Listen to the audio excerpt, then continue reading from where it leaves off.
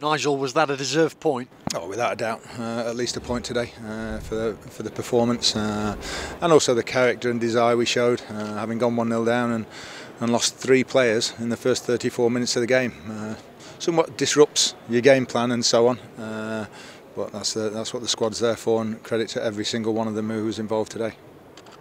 Ironically, despite those three having to go off, Stags were better in the second half than the first.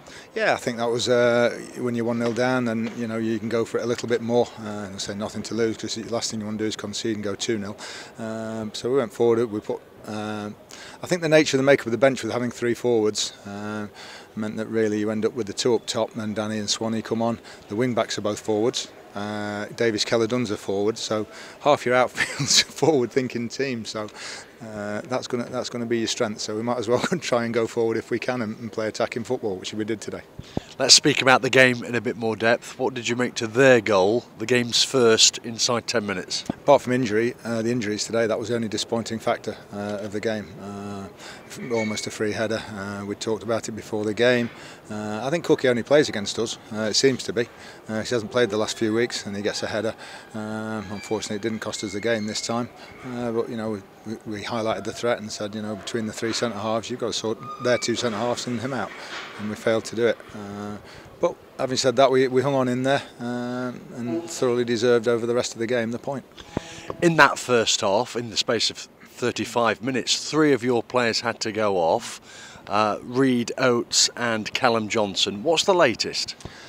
Uh, Reed knee, uh, loose Reed knee with the block tackle he made uh, just in front of the dugouts. Uh, Oatsy obviously shoulder, not his pectoral muscle again, but his shoulder. Uh, and Callum Johnson is the most straightforward with a, a, a slight groin strain, we think. Uh, he won't be too long. Not sure about the other two. Uh, we're just talking in there, and in 24, 25 years or whatever we've been doing this, I don't think we've ever lost five players in the first half in the course of a season. And to lose five in two games, as we had done two last week and then three this week, uh, never known anything like it. You had a big decision to make at the break, didn't you? Yeah, uh, and I, I don't know if everybody understands. You only get three opportunities to make substitutes, and half time doesn't count. So. Uh, if we hadn't made any substitutions at half time, that was it. We couldn't have made one, bar a concussion sub. Uh, so we had to sort of almost anticipate and gamble a little bit. Kieran had been booked, not sure if he was going to last the 90. Uh, Quinny again, not sure if he was going to last the 90. So we thought being 1-0 down, let's get uh, Swanee and Danny up top, move uh, Lucas back, put Davis Keller back into midfield. And to be fair, we sat down just literally, you've only got five, ten minutes to get it sorted. Uh, and they all went, come on, let's go. Uh, and the determination going out the door for the second half uh, was brilliant. When precisely did you make that double double change in your own mind? Well, once we made uh, the third substitution, once Callum comes off, and I said to Andy, I said, you realise we can't bring another sub unless we do it at half time. Uh, and in a game like that, as, as full-blooded as it was, it was unlikely uh, that somebody wouldn't have needed to come off. So you're thinking that Kieran being booked, you know, don't want him getting sent off. You know, Quinny uh, has had a played 90 last week, so it was just really, and let's get the forwards on, being one 0 down, let's go for it.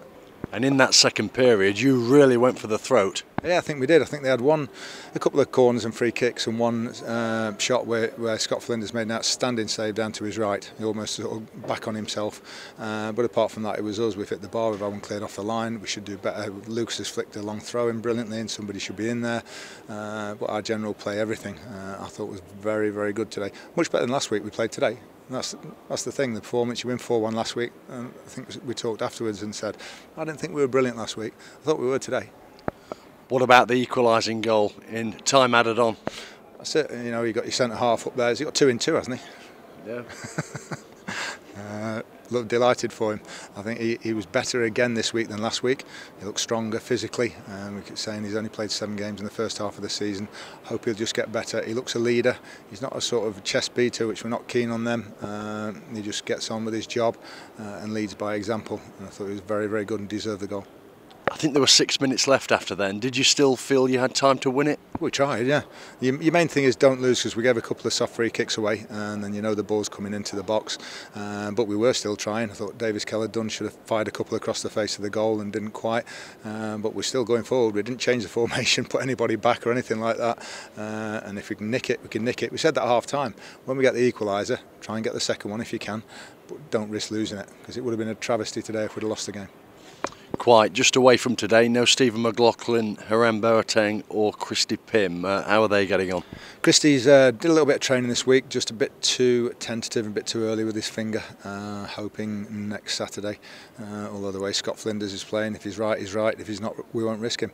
Um, Stephen McLaughlin, mm, three to four weeks, maybe something like that, uh, and Hiram should be okay. He was touch and go for today. Didn't want to risk him with it being a hamstring-related injury. Uh, couldn't risk him being out for three to four weeks, so uh, he should be all right for next Saturday. Just a final word on the January transfer window. That uh, window now closed, of course. How would you sum it up, the business that Mansfield have conducted?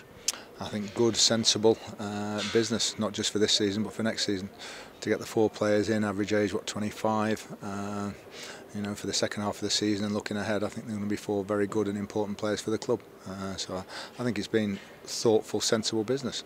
You know, I think a couple of teams have been, uh, a few teams in all football they always do panic a little bit at this stage. Uh, I don't think you make good signings under those circumstances. Uh, I think our four are good solid signings. Just capping off here at the University of Bradford Stadium. Um, final word for the supporters, perhaps, because it, it almost feels like a victory the way in which Mansfield salvaged a, a, a late goal here.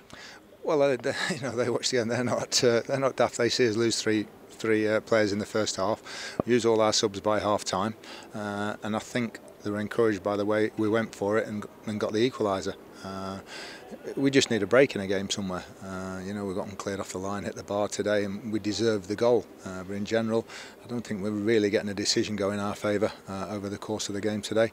Uh, and we thoroughly deserved it. And I, I th think they understand uh, in the circumstances uh, how good it was and how well we played. Thank you. Thank you.